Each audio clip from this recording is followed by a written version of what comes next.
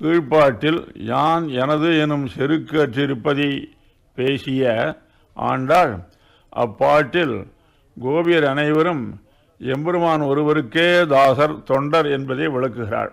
அங்கன்மா ஞாலத்தரசர் அபிமான பங்கமாய் வந்து நின் பள்ளி கட்டில் கீழே சங்கமிருப்பார் போல் வந்து தலை பெய்தோம்.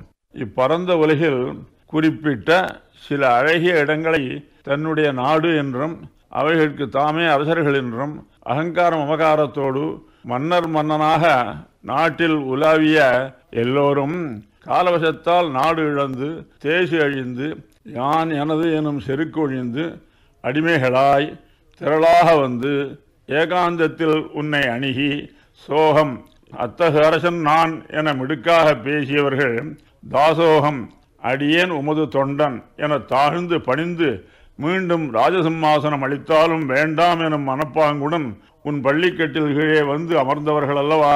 அதே போன்று நாங்களும் இல்லற இன்பத்திலே மயங்கி கிடந்த எங்கள் புலன்களை தட்டி எழுப்பி உன் திருவடிகளிலே அவற்றை ஈடுபடுத்தி அடியார்களாக வாழ உன் பள்ளிக்கட்டிலின் கீழே கூடியிருக்கிறோம். அரசர்கள் போக்கற்று உன்னிடம் வந்தார்கள். நாங்களோ இலக்குவன் ராமனின் குணங்களுக்கு தோற்று ஊழியனாக காட்டிற்கு அவனோடு வந்தது போல் உன் குணங்களுக்கு அடிமையாகி நாங்களும் வந்தோம். கண்ணன் சரி இப்பொழுது உங்களுக்கு என்ன வேண்டும்? கிங்கிணிவாய் செய்த தாமரை பூ போல செங்கன் சிரிச்சிறிதே மேல் விழியாவோம் நீ கண் விழித்து எங்களை கடாட்சிக்க வேண்டும். உன் கண்கள் இப்பொழுது தாமரை முட்டு போல் இருக்கின்றன. சூரியோதயமாகும் போது கொஞ்சம் கொஞ்சமாக முட்டு மலரும். ஆரம்பத்தில் அது சிறிது வாய் திறந்து சிறுமணி போன்று இருக்கும்.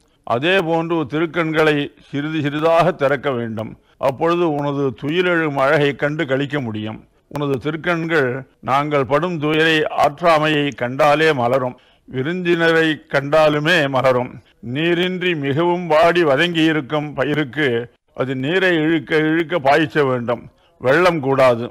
உன் பிரிவாற்றாமையினால் நொந்து மனமுடிந்து போயிருக்கும் எங்களை சிறிது சிறிதாக கண்களை திறந்து கடாட்சிக்க வேண்டும். விழிக்கும் போதே எங்களை நோக்க வேண்டும். அது கோடை ஓடிய பயிரிலே ஒரு பாட்டம் மழை பெய்தது போல் எங்களை மகிழ்விக்கும். திங்களும் ஆதித்யனும் எழுந்தாற்போல் அங்கனை ரெண்டும் கொண்டு எங்கள் மேல் நோக்குதியர் உனது கண்களுள் ஒன்று கதிரவனைப் போல தீயவரை பகைவரை அணுகவண்ணாது கொளுத்தும். மற்றொரு கண் சந்திரனைப் போன்று கருணையை பொழிந்து மகிழ்விக்கும். இவ்விரு கண்களாலும் எங்களை நோக்குவாயாக. எங்கள் மேல் சாபம் இழிந்து. உன் கடாட்சியத்தை பெறவே தவித்துக் கொண்டிருக்கும் எங்களை குளிர கடாட்சிப்பாயாகில் உன் பிரிவினால் ஏற்பட்ட துயரமும் தாபமும் உடனே தீரும்.